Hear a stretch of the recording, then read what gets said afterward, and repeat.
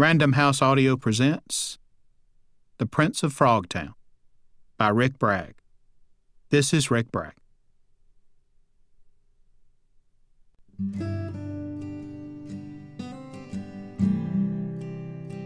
Prologue The Stream.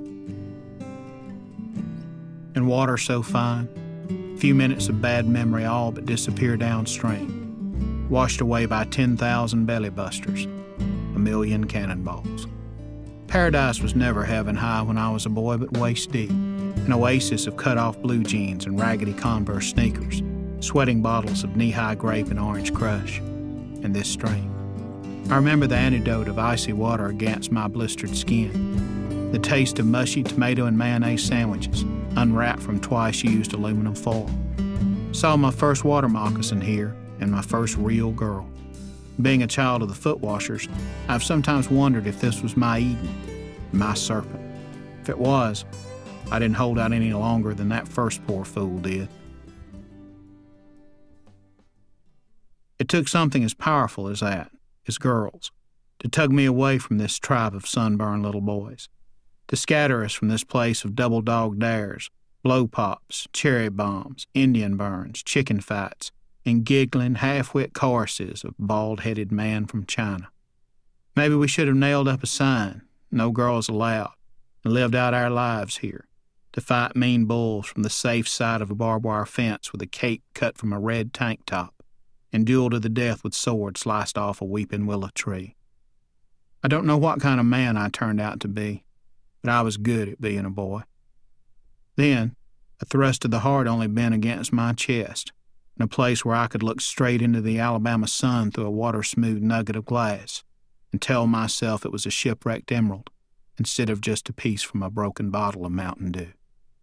The stream began in a jumble of rocks beside the Piedmont Highway, bubbling up cold and clear a half mile from my grandmother's house. The air always smelled of coconut scented suntan lotion and lighter fluid, and in summer the white gravel parking lot filled with church buses poodle walkers and weekend Hell's Angels who might have been born to run, but now lugged along well fed wives in white go go boots and polyester pantsuits rolled to the knee. It was a lovely park, but a boy, a genuine boy, can have no real fun with so many Presbyterians puttering around and so many mamas in one tight place. But if you follow the water a meandering half mile to the west, through a dark, spider webbed, monster infested culvert tall enough for a small boy to run through. All the picnickers and weenie roasters vanished behind a curtain of gnarled, lightning blasted cedars and thick, dark pines. The stream passed under four strands of barbed wire, flowed through a sprawling pasture studded with wicked blackberry thickets and the rusted hulks of old baling machines, then rushed into a dogleg against a high, red clay bank. Here, the shin deep water pooled into a clear, cold swimming hole, made deeper by the ragged dam of logs, rocks, and sandbags we built just downstream. This was our place. From a running start, I could leap clear across it, heart like a piston, arms flailing for distance, legs like shock absorbers as I finally, finally touched down. This is where I learned to take a punch and not cry, how to dodge a rock, sharpen a knife, cuss, and spit. Here, with decrepit cowboy hats and oil stained Bama caps on our burr heads and the gravel of the stream bed sifting through our toes, we daydreamed about Corvettes we would drive, wondered if we would all die in Vietnam and where that was, and solemnly divined why you should never, ever pee on an electric fence. This is the last place I remember having much peace of mind. It is where I lay still shaking from the water and let the summer sun simmer me to sleep, my feet and legs slicked by nail polish to suffocate the chiggers that had hitched a ride on me the day before. I would wake hard to the bite of a horsefly, or soft, to a faint, far off rumbling in still blue skies, and the frightened calls of a mother who always, somehow, foretold the storm. A few times I took a book, but it was hard to read with your brothers pelting you with day old cow patties and green pine cones. And besides, in those days of bloody adventure, the boxcar children moved a little slow, and the Hardy boys didn't have nothing on me. My mother tried to open the outside world to me in the only way she could by taking home a volume every Friday morning from the discount encyclopedia sale at the A&P. But the sale ended too soon and the world stopped at the letter K, Kyoto, Kyushu, and Kyzyl Kum. I didn't miss the rest of the alphabet or the world. Not here. The only thing that could force an end to perfect days and the perfect stream was the dipping of that almighty sun, sinking into gun smoke, hot cornbread and cold buttermilk, and a preemptive, if I should die before I wake, as a shorted out electric fan droned off and on in a window by my bed. Somewhere out there, my father drifted from ditch to ditch in a hundred dollar car, but we were free of him then, free of him for good. Yet sometimes, when I'm wading through my memories of this place. I find the pieces of another day, a day told to me as much as it was truly remembered, because I was so small. My father was still with us then, his loafers spit shine, his creases sharp enough to cut you into, and he would have smelled of ivory soap and old spice and a faint, splashed on respectability. It is not the best or worst story I have of my father, but it is worth telling if only because, this time, he was innocent. I was not a toddler anymore, but not yet school age. Mostly, I remember the weather. It was late spring, after the blackberries bloom. Summer does not wait on the calendar here, and by the end of May, the heat has settled across the foothills of the Appalachians like a damp dish rag. By Memorial Weekend, the flies have discovered every hole in the screen doors, and the grass has been cut six times. But some years, just before four solid months of unrelenting sweat, a cool, delicious wind blows through the hills, mixes with the brilliant sunshine, and provides a few final sips of dry, breezy, perfect weather. The old people call it blackberry winter.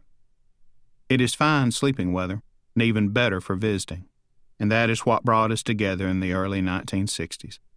By mid morning, the church drive in front of my grandmother Ava's house was crowded with 50s model Chevrolets and GMC pickups loaded with chainsaws, rusted picks and shovels, logging chains, and battered toolboxes. There was work in the American South then good blue collar work with health insurance and solid pension funds. Smokestacks burned at midnight and coated the parked cars in a film of black, beautiful, life giving smut. If a man's family did without, it was his own damn fault. The hot grease smell of frying chicken would have leaked from the windows and screen doors, as it did every Sunday. His aunts and cousins twisted the lids off sweet pickles and stirred yellow mustard into big gobs of potato salad. Gospel music from the black and white television mixed in the air with the smell from those sizzling skillets. And now, folks, from Pensacola, Florida, with sand in their shoes, it's the Florida Boys. My grandmother Ava, who never really recovered from the death of the one man she ever deemed worthy of a second glance, would nod to the music and dream. The yard was chaos and tricycles, the red dirt and spring grass covered in pink faced children crying, laughing, screaming, fighting, bleeding. Doll heads bounced across the ground, diapers were lost, green plums and some small measure of dirt were eaten. Wagons and kitty cars crashed and overturned in wild onions and ant beds. But no baby suffering, not even a sweat bee sting, lasted too long. Daddy snatched up the afflicted, baby talked into their ears, and jiggled them well again. Older boys walked the nearby field, using Daisy BB guns to harass but miss clean thousands of birds, and shoot each other, giggling, in the behind my older brother Sam, too grown up even at age seven for all that foolishness, stalked the tall weeds beneath the power lines, knocked big crows off the wire with his air rifle, then nailed them, wings spread, to the side of the barn.